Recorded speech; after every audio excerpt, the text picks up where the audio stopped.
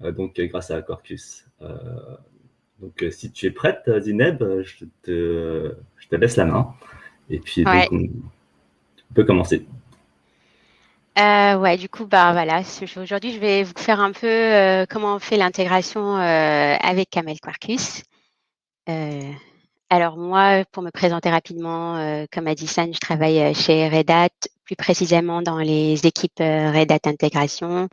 Je travaille sur le projet Apache Camel et depuis un certain temps, je travaille sur le sous-projet Camel Quarkus à développer et maintenir plusieurs extensions Quarkus pour le projet Camel.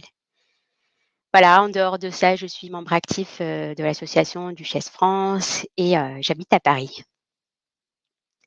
Donc aujourd'hui, je vais vous parler de Camel Quarkus, mais avant ça, je vais faire une petite intro de ce que c'est que Camel. Donc Camel, c'est un framework open source d'intégration qui permet de faire euh, rapidement et facilement de l'intégration entre plusieurs systèmes en euh, faisant des, euh, des, principes de consumer pour consommer de la data d'un système externe et des producteurs qui vont produire de la data dans d'autres systèmes externes à nos applications. Le principe, c'est que avec Camel, on va créer ce qu'on appelle des routes dans Camel.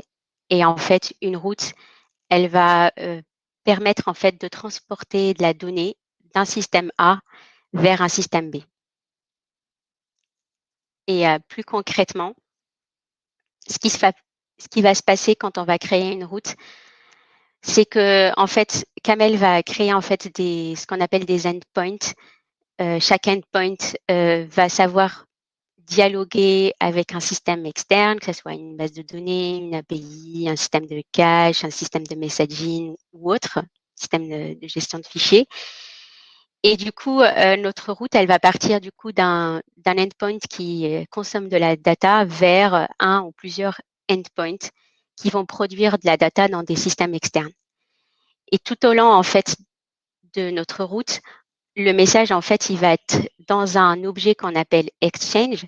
Cet Exchange-là, il va porter euh, le message qu'on appelle le body, mais il va aussi euh, porter d'autres informations, d'autres propriétés qui sont propres au contexte de cet échange-là, euh, comme par exemple, on a des, headers qui vont contenir des données.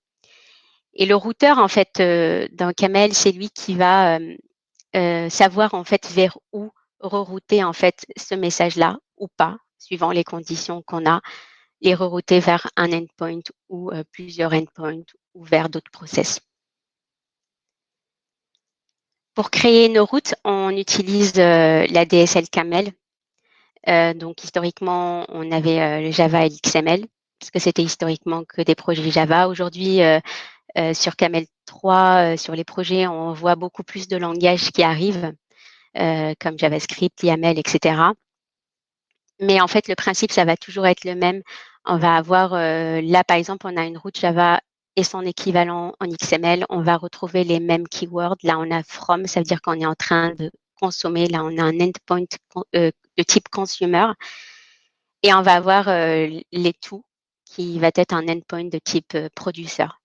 Donc là, par exemple, ce qu'on fait, c'est qu'on qu'on consomme de la data depuis une bucket sur Amazon S3 on fait que loguer le message et on le, renvoie à un Telegram bot. La seule chose qu'il faut savoir, c'est que dans les routes, on peut rajouter autant d'étapes qu'on veut, que ce soit euh, pour rediriger de la data, euh, aller récupérer de la data, transformer nos messages. Donc, on peut avoir des process. Et euh, en fait, c'est comme dans les pipes uniques, c'est-à-dire que quand on fait une étape, le résultat en fait du message en sortie, c'est ce qui va aller dans l'entrée de l'étape d'après.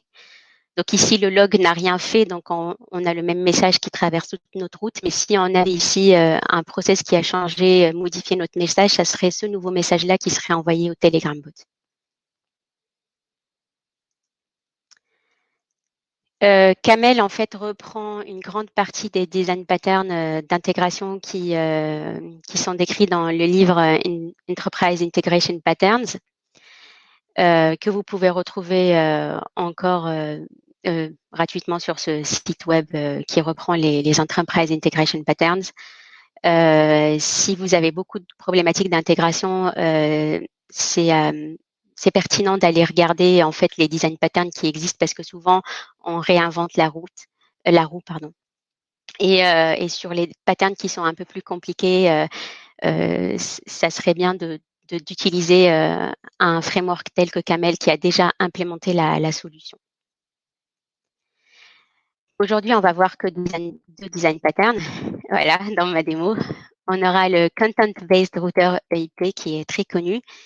Alors, ce EIP-là, en fait, il va rerouter en fait euh, le message vers une étape ou un endpoint bien précis, précis suivant en fait des conditions. Donc en fait dans Camel ça s'appelle euh, choice pour choix euh, dans la syntaxe de la DSL et en fait on va avoir notre message qui arrive là, on va avoir une liste de conditions et suivant ces conditions là on va le rerouter ou pas vers un autre endpoint. Et aussi le message translator EIP qui est euh, très connu et en fait l'objectif de cette EIP, c'est quand on a deux systèmes qui vont s'échanger un message. Donc là, on a euh, un système A et un système B, sauf qu'en fait, ils ne, ils ne, ils ne, dialoguent pas en fait de la même manière. Donc leur typologie de, données ou bien d'objets est différente. Et du coup, il faudrait en fait traduire en fait le message qui arrive du système A vers le système B. Donc on verra tout à l'heure euh, deux, implémentations de ce message translator. Camel a une euh, vaste librairie euh, de composants. Euh, aujourd'hui, on en a plus que 360. Ici, j'ai mis que quelques exemples. Hein, il n'y en a pas 360. donc ici, on voit un peu tout ce qui est data, messaging, les API, public, private cloud. Mais il n'y a pas que ça. Il y a aussi différents protocoles, on gère euh, différentes typologies de fichiers et puis il y a encore d'autres typologies de, composants. Donc, euh, il suffit d'aller voir euh, sur le site pour voir un petit peu quels sont les connecteurs que vous pouvez utiliser pour, pour votre application. Pourquoi utiliser Apache Camel Déjà, premièrement, parce que c'est open source. et dans le monde de l'open source, c'est la plus grande et la plus active euh, communauté open source euh, dans le monde de l'intégration. Euh, pour quelques petits chiffres, les trois dernières années, Camel est dans le top 5 des, du nombre de commits dans la fondation, Apache Software Foundation. Euh, donc voilà, c'est assez rassurant de, travailler sur un projet euh, qui a une communauté euh, aussi active. On est d'ailleurs très active aussi sur notre chat Zulip. Si vous voulez utiliser Camel, vous pouvez venir sur notre chat et nous poser les questions si vous avez des problématiques. Et on peut se connecter à un peu presque tout parce que tous les connecteurs qui sont les plus connus, on va les retrouver dans Camel. Donc en général, avec notre vaste librairie, vous pouvez un peu trouver euh, presque tout.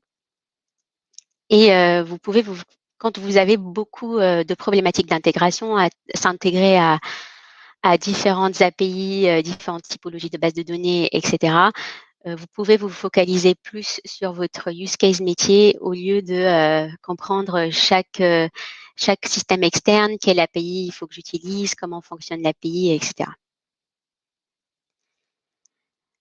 Camel tourne sur euh, plusieurs runtimes. Cette liste n'est pas exhaustive et aujourd'hui, ce qu'on va voir, c'est euh, la stack Quarkus puisque c'est euh, sur quoi je, travaille. Donc, Camel Quarkus, c'est un sous-projet, donc c'est un projet à part, mais qui, qui est lié et qui dépend du projet Camel. Et en fait, son objectif, c'est de porter toutes euh, les capacités euh, d'intégration euh, de Camel et sa vaste librairie de composants dans le Quarkus Runtime supersonique subatomique. Donc, il y a eu pas mal de travail qui a été fait pour que tout ce qui se fait au démarrage de, Camel soit porté au build time. Et après, pour chaque composant, on va créer des extensions et du coup, on va faire un travail puisque les, les composants généralement utilisent des librairies externes et donc du coup, il faudrait qu'on s'assure que, que en fait, on ait tout ce dont on besoin pour chaque composant au runtime. Pourquoi du coup on a Apache Camel sur sur Quarkus euh, parce qu'aujourd'hui, bah, du coup, comme c'est la mode de travailler sur des containers, euh, sur des environnements tels que Kubernetes, et du coup, bah, en fait, on va bénéficier de, de, de, tous, de tous les bénéfices de, de Quarkus pour notre projet Camel. Et donc, euh, on va avoir euh, la, le fait de diminuer l'espace disque, le fait de booter plus vite. Donc, on va avoir euh, des scale-up qui sont beaucoup plus rapides sur nos environnements Kubernetes. Et bien sûr, on pourra avoir plus de containers euh, dans le même euh, taille de, RAM. Et là, je vais passer à la démo. Donc aujourd'hui dans la démo, je vais faire en fait deux consumers. je vais commencer par faire un chatbot Telegram en utilisant le, l'extension euh, Quarkus euh, Camel pour Telegram. Et euh, du coup, bah, en fait, j'ai déjà créé mon petit chatbot que je vous montrerai tout à l'heure. sauf que là, tout de suite, mon chatbot, il fait rien du tout si on interagit avec. Donc, en fait, l'extension en fait Telegram, elle va nous permettre en fait de, de créer cette interaction du chatbot. Le chatbot va recevoir des messages et va envoyer des messages. Et tout ça, on va le faire avec Camel sans euh, connaître en fait comment l'API Telegram elle fonctionne. Et euh, donc ça, ça va être la première étape. Et la deuxième étape, on va utiliser euh, l'EIP qu'on a vu tout à l'heure, euh, le Content-Based Router, pour faire des choix. Et, suivant un cas bien spécifique, on va en fait envoyer les messages qu'on reçoit dans un topic Kafka.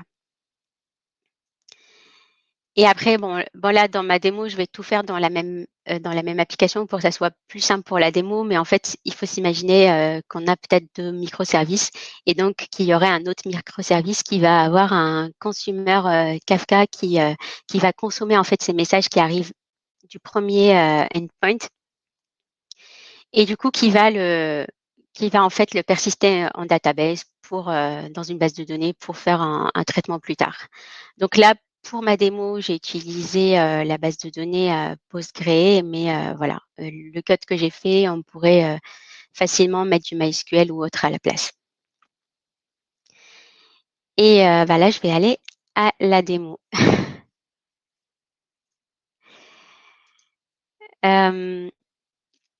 là, du coup, moi, j'ai déjà créé une application Quarkus. Bon, déjà, en général, si vous voulez créer les, applications Quarkus, déjà, je vais vous montrer ça. Euh, c'est un peu la même chose euh, pour Camel, c'est la même chose que pour Quarkus. Si vous venez là et vous tapez dans le code.quarkus.io, si vous tapez Camel, euh, vous avez la liste des extensions ici. sachant qu'il y a un peu plus d'extensions que, que sur le code.quarkus.io.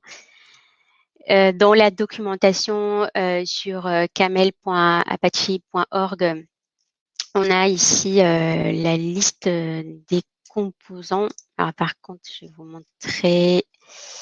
Si, si je vais dans Camel Quarkus, si je vais dans référence, là on a les extensions. Donc aujourd'hui, sur les 300 et quelques, on est à 314 extensions qui sont déjà disponibles pour Camel Quarkus dont euh, un peu moins d'un tiers qui sont euh, juste JVM only. Donc les JVM only, vous ne les verrez pas ici, mais du coup, euh, vous aurez toutes les stables. Et, et voilà, si, jamais vous en trouvez pas ici, vous pouvez quand même faire chercher ici pour voir si elle existe et si vous pouvez du coup juste importer le BOM de Camel Quarkus. Dans mon application ici, je ne l'ai pas créé euh, avec code.quarkus.io, déjà parce que euh, je suis sur euh, des versions qui vont bientôt sortir. Donc là, je suis sur les futures versions 2.0 de Quarkus et Camel Quarkus qui vont sortir très très bientôt, dans les jours qui suivent en tous les cas. Et, donc voilà, ça, ça, va vous permettre de, de, voir un petit peu la future version de Camel Quarkus. Et du coup, j'ai importé pour ce fait le Camel Quarkus Bomb. Mais si vous trouvez toutes les extensions ici, vous n'avez pas en fait à, faire ce que, ce que j'ai fait. Vous pouvez juste générer votre application et ça utilisera le Quarkus euh, directement parce qu'on est sur la plateforme Quarkus aussi.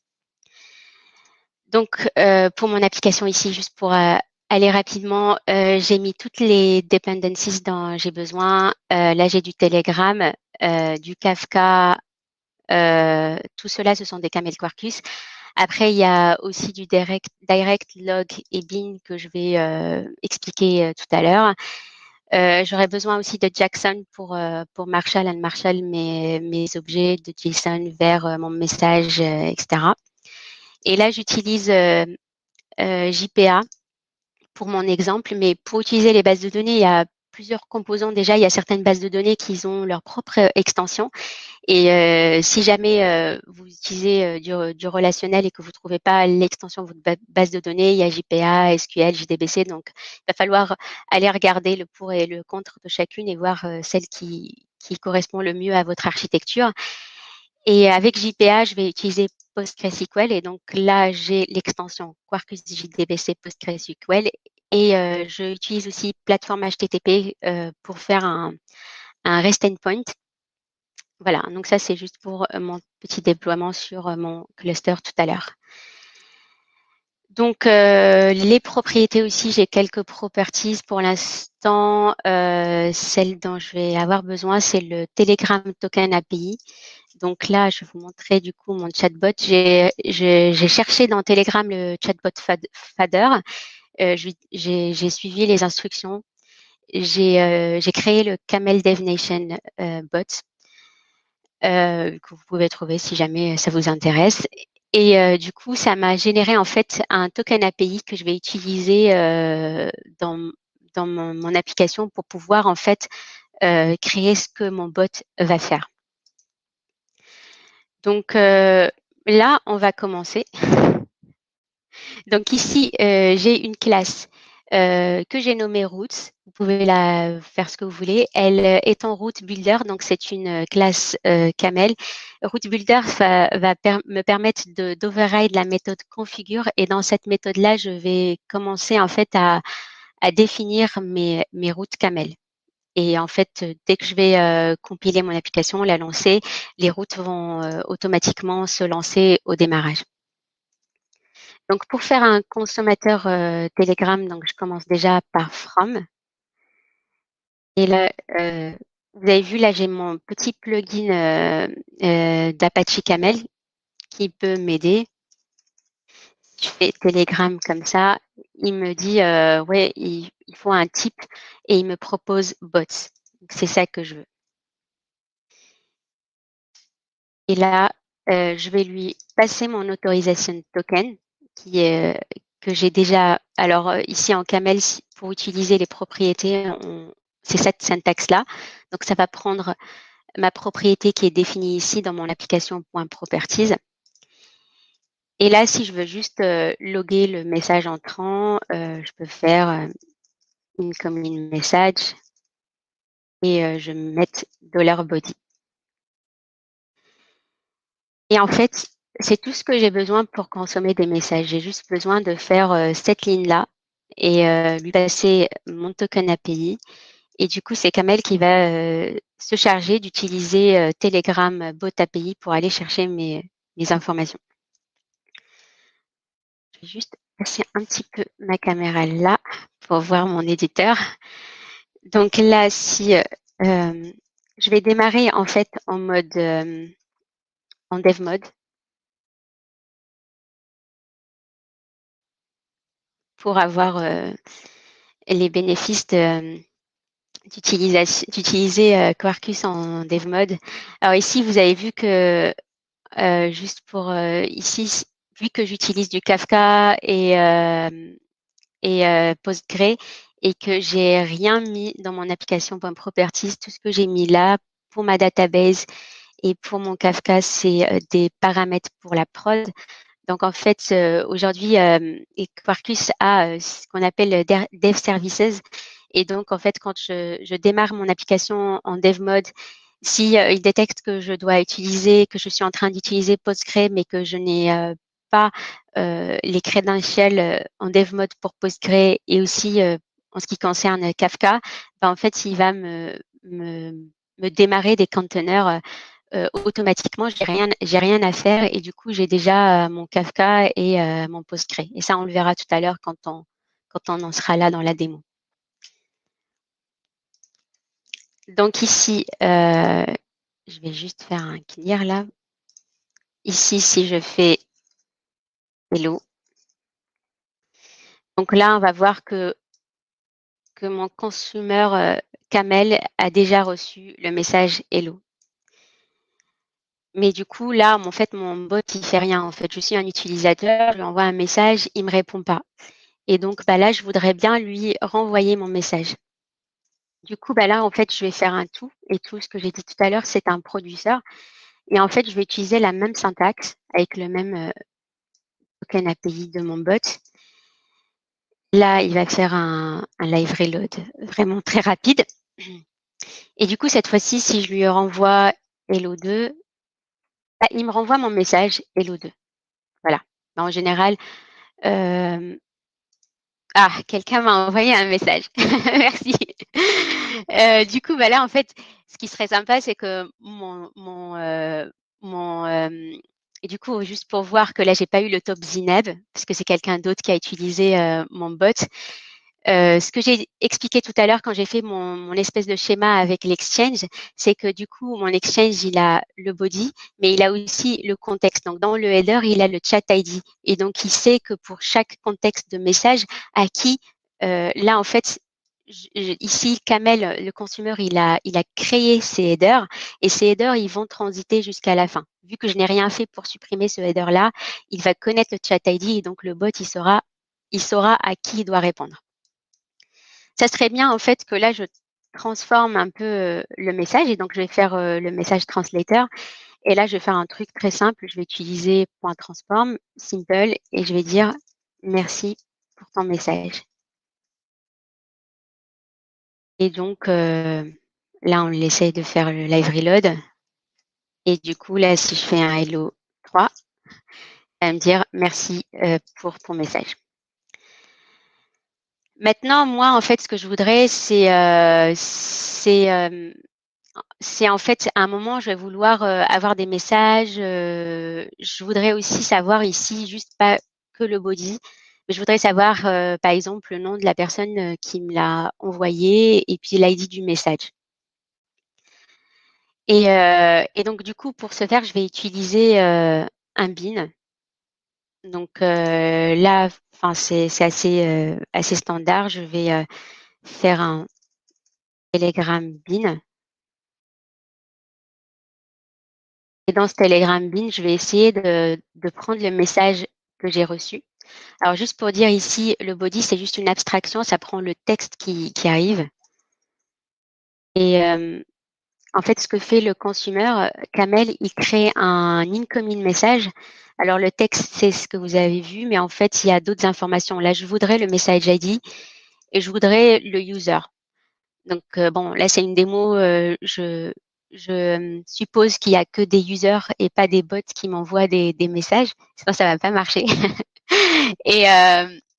et donc, sinon, dans le incoming message, vous pouvez voir qu'en fait, si vous créez votre bot, un bot un peu plus plus sympa avec Telegram plus tard, vous pouvez avoir des photos, des vidéos, des documents, des stickers, etc. Bon, moi, en fait, je vais rester juste euh, sur le texte parce que je suis dans une démo. Donc, en fait, ce que je vais faire, c'est que je vais faire un bin.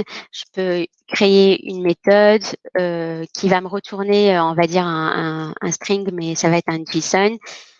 Je peux l'appeler translate. Le nom de la méthode n'a aucun, aucune importance. Euh, là, je mets incoming message parce que je, suis sûre, moi, que en fait, c'est un incoming message que je reçois.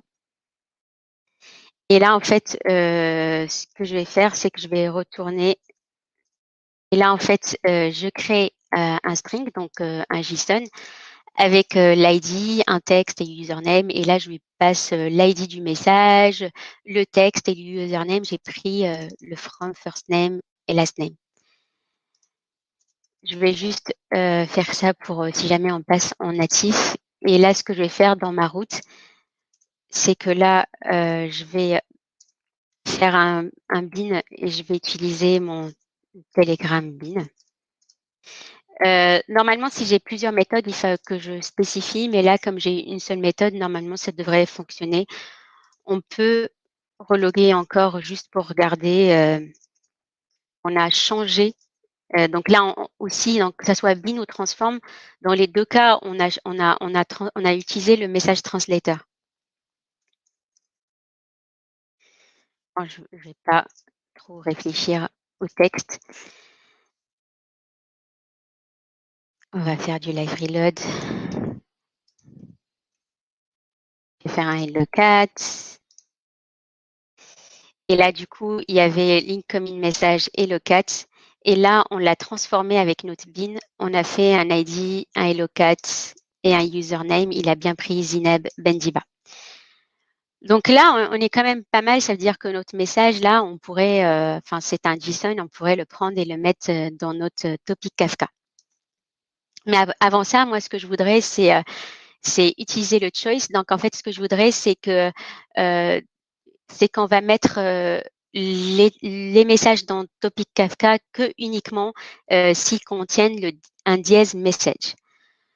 Donc, euh, là, ce que je vais faire, c'est que je vais enlever en fait ces logs-là. Donc là, j'ai bien transformé mon message. Ce que je vais faire, c'est que je vais, je vais pour que ma, ma, route ne soit pas très complexe, je, je vais vouloir faire un, un, une entrée qui va s'appeler euh, direct. Là, on va mettre process message, par exemple. Et en fait, euh, cette, cet endpoint-là, c'est une entrée, en fait. C'est juste qu'à ce moment-là, euh, je voudrais ici processer mon message. Et donc là, je vais lui je vais le balancer en fait le message que j'ai euh, l'exchange que j'ai euh, modifié ici je vais le balancer au, direct process message. Direct en fait ça ça ça, c'est pas euh, c'est pas lié à une techno bien spécifique. Ça nous permet juste en fait d'avoir un petit, euh, une petite entrée pour créer une autre route. Et ici en fait j'ai c'est pas très pertinent de, de créer ce texte là je vais juste le mettre un peu plus, euh, voilà. Donc en fait, ici, je vais faire un, un choix. Euh, si euh, le body que que j'ai reçu et que j'ai euh, et que j'ai traité ici euh, va contenir start. Donc ici, je tout ce qui est simple là, c'est c'est un c'est un langage d'expression. Donc si il contient start, je vais lui donner ce texte là que j'ai défini dans mon application point properties où je vais dire bienvenue à DevNation France, etc. Et je vais aussi dire à l'utilisateur ce qu'il ce qu'il peut faire. Et euh, s'il contient message, ça c'est le message que je vais vouloir tout à l'heure euh, envoyer sur Kafka pour qu'il y ait un autre consumer euh, Kafka qui le persiste en base. Et sinon, ben, je vais dire, j'ai pas compris, euh, voilà, tu peux, tu, tu peux essayer euh, start ou, ou dièse message. Et donc, ça, c'est le content-based router. Ça veut dire qu'à un moment, on fait des choix. Si euh, j'ai ça, je fais ça. Si je fais ça, je fais ça. Ici, on va voir que dans tous les choix, et si on n'est pas dans le bon choix, on a le otherwise, je transforme toujours mon message et à la fin, je vais le renvoyer encore à mon, euh, à mon Telegram. Et du coup, si je refais un Hello 5, euh, bah là, il me dit, euh, je ne sais pas. Si je fais un start, j'ai mon message. Par contre, là, euh, je l'ai fait en markdown. C'est pas très joli parce que là, les, euh, les liens et tout sont sont pas euh, vraiment jolis. Donc, avant d'envoyer au Telegram, je vais rajouter un header et en fait, donc qui existe dans mon mon composant. Pardon là. Importer les classes. Et en fait, c'est un, c'est une, c'est un header qui va donner à Telegram le parse mode. Et ici, bah, moi, je lui spécifie que c'est du markdown. On peut aussi faire du HTML. Donc là, s'il fait le live reload, si je refais mon start, là, c'est plus joli. Là, j'ai euh, j'ai tout ce qui est en gras. pardon. Et là, j'ai le lien vers mes slides, vers mon code source, et ça me dit que je peux que je peux en fait envoyer un message en commençant par mon message par dièse message. Du coup, là, en fait, on va faire ce que le dièse message va faire. En fait, quand je reçois un message avec dièse message, je veux l'envoyer dans un topic Kafka. Mais je veux l'envoyer avant de transformer. Donc, ça veut dire que dans cette condition-là, d'abord, je vais envoyer le message en format JSON tel que je l'ai fait avec le bin en utilisant le IP. Et après, je vais transformer, je vais, je vais transformer mon body pour euh, répondre à l'utilisateur.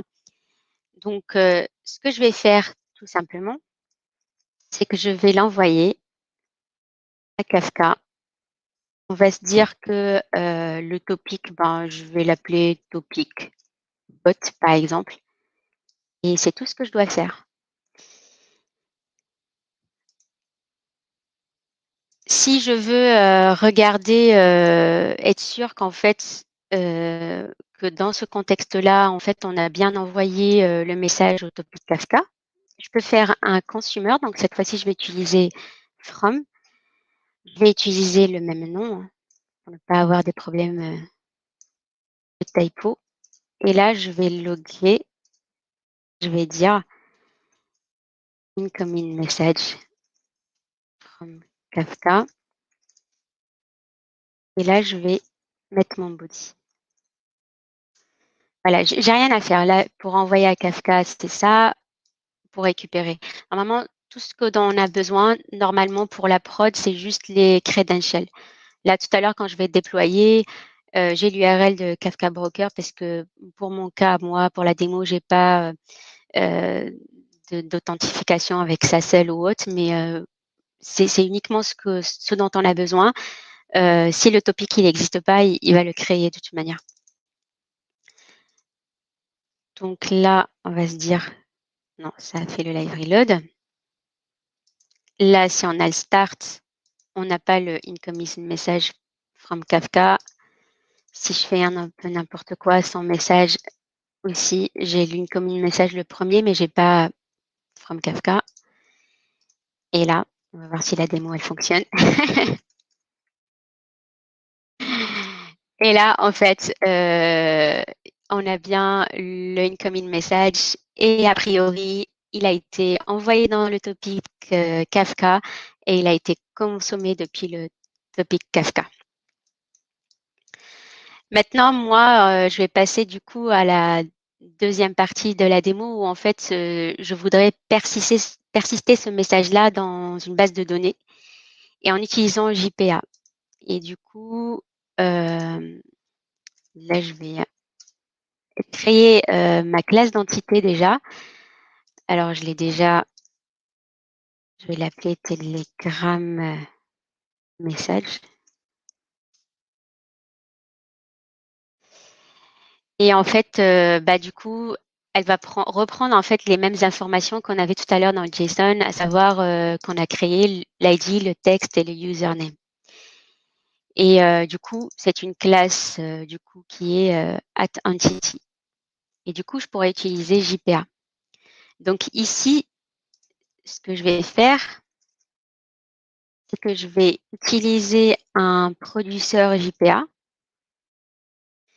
Si je fais JPA de points plus euh, le Telegram message que j'ai créé en classe getName.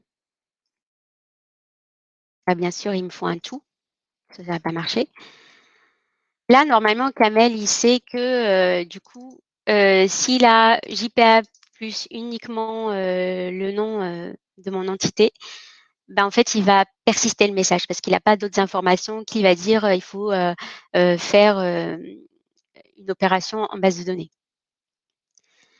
Il y a juste une petite subtilité, c'est que le message qui, les, tous les messages qui arrivent d'un topic Kafka en JSON et là, il va falloir que ça soit en Telegram message.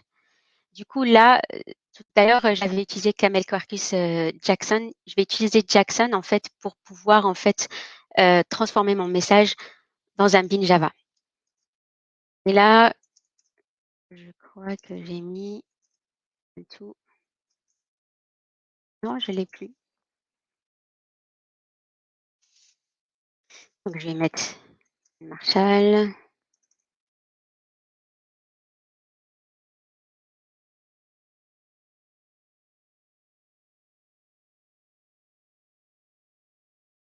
Donc voilà, voilà, je vais juste euh, le N Marshall, j'espère que je ne me trompe pas. Et euh, je voudrais, une fois que je fais ça, je voudrais euh, essayer de... Hum, bon, essayer, on va déjà voir si le code, ça fonctionne déjà. Ouais, J'ai plus beaucoup de temps, c'est ça? Non, non, non, c'est juste qu'on ne peut pas plus sur la caméra. Et est-ce que tu peux zoomer un petit peu ton intelligence? Ah mince. un peu plus l'intelligence. Hop. Ça va là? Un peu plus. Euh, encore un petit peu, ouais. Ah, nickel. Merci. Rien. Donc là, si je fais un message Hello 6, ça a l'air de bien fonctionner. Du coup, ben moi, en fait, ce que je voudrais, c'est euh, juste afficher, enfin, créer un endpoint euh, REST GET qui va aller récupérer tout ce que j'ai dans la base en utilisant toujours JPA.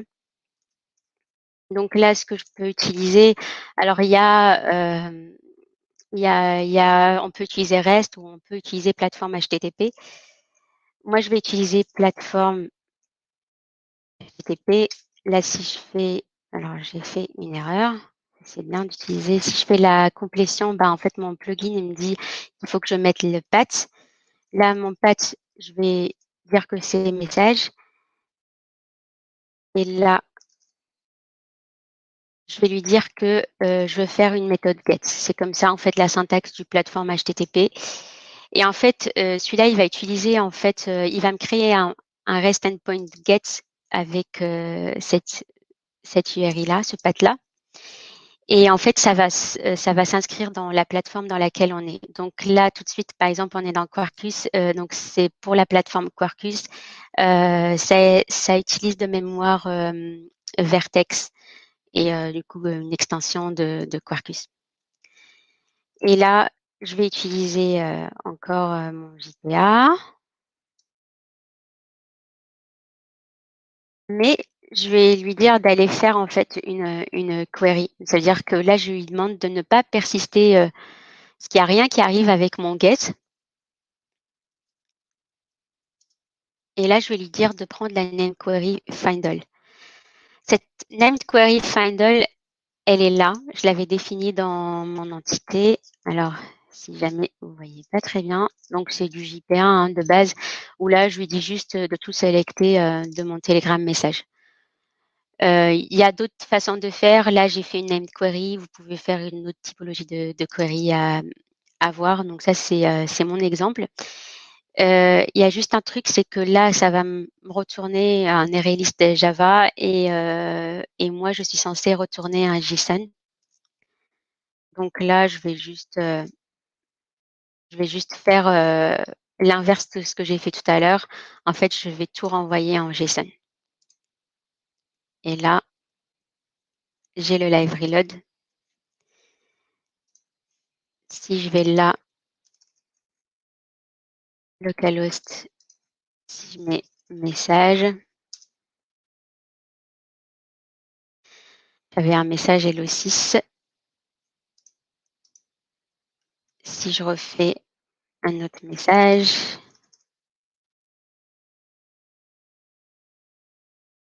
voilà. Donc voilà. Donc euh, du coup là, euh, c'est un peu du coup la fin de ma démo, en tous les cas, en termes dev, euh, j'ai voulu un petit peu vous montrer euh, des, euh, des EIP d'intégration dans Camel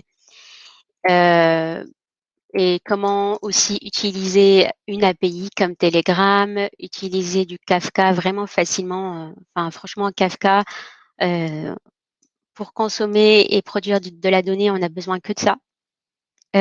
pour utiliser des bases de données, et pour créer euh, un, REST endpoint euh, assez rapidement pour, euh, pour pouvoir exécuter une route camel. Donc maintenant, ce qui serait bien, c'est que je puisse, du coup, alors j'ai mis ça là pour ne pas me tromper comme d'hab. Là, ce que je voudrais faire, c'est le déployer sur mon cluster. Donc, j'espère que ça va être rapide. donc là, en fait, ça va me packager mon application en mode JVM et ça va me le déployer sur mon Kubernetes. J'utilise des extensions Quarkus. donc, en fait, il y a Quarkus Kubernetes, mais moi, en fait, mon cluster, euh, c'est un cluster OpenShift. OpenShift, c'est une distribution de Kubernetes, donc c'est un Kubernetes, mais avec des trucs euh, en plus. Et moi, en fait, j'ai mon propre cluster euh, OpenShift sur AWS, donc j'installe rien sur ma machine. et là, en fait, j'ai des informations pour containeriser. J'ai quelques quelques trucs ici pour alors du coup là j'ai mis en mode push, donc ça va prendre du temps. J'ai quelques informations euh, donc là pour, euh, pour mon installation. Et euh, si on part du coup sur mon cluster, ici j'ai déjà installé Streamzy, l'opérateur, et j'ai une instance Kafka qui tourne. J'ai installé mon Postgre opérateur et j'ai une base de données qui tourne dans mon cluster. J'espère que ça va être rapide. Ça arrive, ça arrive. Et sinon, euh, ce que j'ai pas montré tout à l'heure, voilà, c'est que ici, moi, j'ai utilisé que des variables d'environnement euh, pour mon Bootstrap URL et euh, mes credentials pour la base de données. du coup, moi, j'ai la caméra devant, excusez-moi. Dans mes secrets ici, j'ai mon DevNation secret euh, qui a toutes les informations sur mon Kafka, ma base de données, mais aussi euh, tout à l'heure j'avais mis Telegram euh, le token. Et on attend juste que ça déploie. J'ai encore un peu de temps.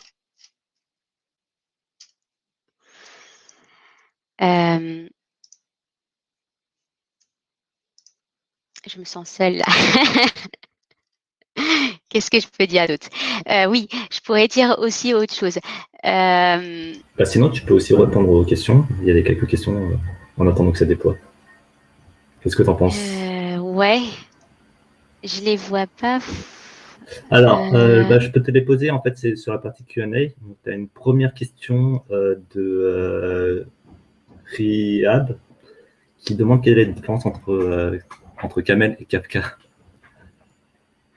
Euh, bah, bah, Camel, c'est un, un framework qui, euh, qui va permettre d'intégrer avec euh, un peu tout, enfin, pas forcément du Kafka, parce qu'en messaging, on a du RabbitMQ, du AMQ, enfin, on, a, mais en fait, Kafka, c'est juste un composant qu'on va avoir dans, dans Camel.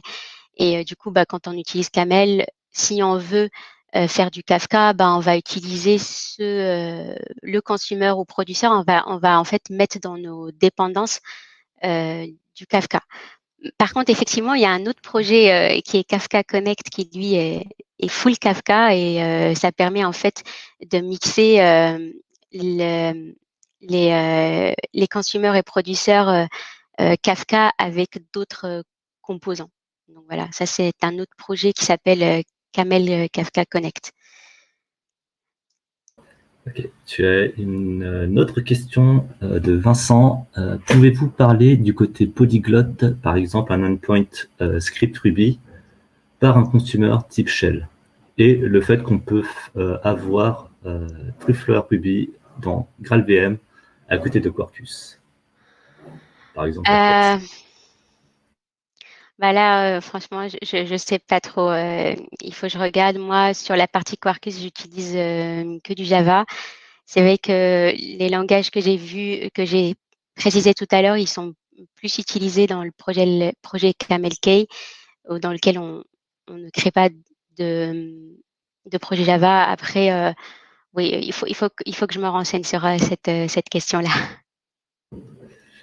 Ok, il n'y a pas de souci. Et il y a encore une question. Euh, donc, toutes les images que containerisées et utilisées par Corpus euh, et Camel sont-elles multi-arc, multi-architecture? Donc, euh, est-ce qu'ils sont supportés par exemple sur PowerPC 64 ou, ou autre? Ben, Un peu comme Quarkus, je pense que oui. Mais je ne suis pas très sûre là. Mais en fait, on utilise en fait la, même stack Quarkus, donc il n'y a pas de. Si ça fonctionne pour Quarkus, ça fonctionne pour nous aussi.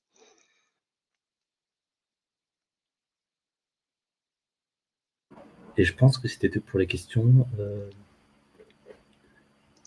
Du coup, ton... ça peut déployer ou pas? Euh, Non, mais du coup, euh, je vais peut-être euh, basculer sur un autre cluster. Donc là, j'ai un cluster qui sur lequel j'ai déjà déployé et là, j'ai déployé en fait en natif, c'est-à-dire que j'ai compilé en natif avant de déployer ici. je l'avais scalé à 0. Là, je peux le scaler à 1. Et du coup, bah, il a déjà démarré, hein, très rapide. Là, il a starté en 284 millisecondes, Camel. Si, euh, si je le rescale à 0. En fait, là, je scale toujours à 1 parce qu'en fait, euh, Telegram, en fait, il veut pas avoir plusieurs euh, consommateurs. Donc, je suis en fait sur un, type de et donc là en fait euh, au deuxième euh, donc si vous avez déployé que vous faites un scale up euh, d'une application vous allez voir que là Camel a démarré il a démarré les quatre routes et il a démarré en, en juste 19 millisecondes et l'application en gros a démarré en 0,553 secondes sachant que quand les routes elles, démarrent, en fait, il y a, enfin, quand on va vérifier aussi que les crédentiels euh, Kafka sont, bons, etc. Donc euh, voilà, c'est assez euh, rapide. là, si je vois messages, du coup là j'ai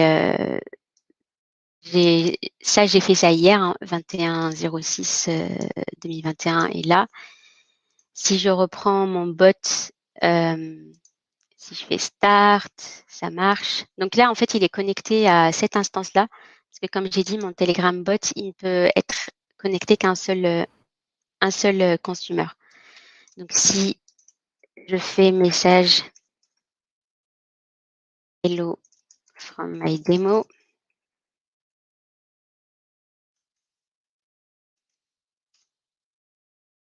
normalement, si je vais là, je vais le trouver, mon message. Je ne sais pas si vous voyez ou pas. Ouais. Il est là. Euh, Zineb, il va falloir que tu euh, nous ouais. une conclusion. oui. Euh, bah, du coup, je n'avais pas. Donc, bah, voilà, j'espère que j'ai fait un peu le tour euh, d'un peu tout. Là, j'ai mis quelques, quelques liens. Donc, là, il y a le lien du projet. là, il y a mon GitHub. Je ne sais pas si je peux envoyer ou bien je l'envoie sur le, sur le Slack peut-être euh, euh, le lien de ma de mes slides. Et ben voilà, sinon j'espère que que ça vous a plu et que ça vous donne envie de découvrir euh, Camel Quarkus. Et puis n'hésitez pas à, me retrouver sur Twitter ou GitHub et à m'envoyer des messages si vous avez d'autres questions et à rejoindre notre Zulip Camel si vous avez toutes questions techniques. Oui, et euh, n'oubliez pas que le Slack reste, euh, va rester ouvert après l'événement, donc vous pouvez toujours également euh, contacter donc, tous les speakers de, de l'événement via ce Slack.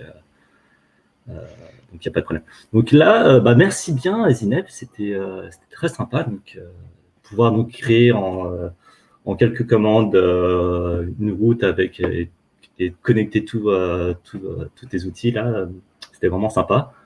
Euh, du coup, euh, donc là, euh, la track 2, je vais, je vais l'arrêter car on va se retrouver sur la, la track 1 pour la bataille navale. Donc, on se retrouve tous sur la track 1. À tout de suite. Et on revient après ici pour Code Ready Workspaces et, et, un autre talk après sur l'authentification par Valériane. Voilà, à tout à l'heure. À.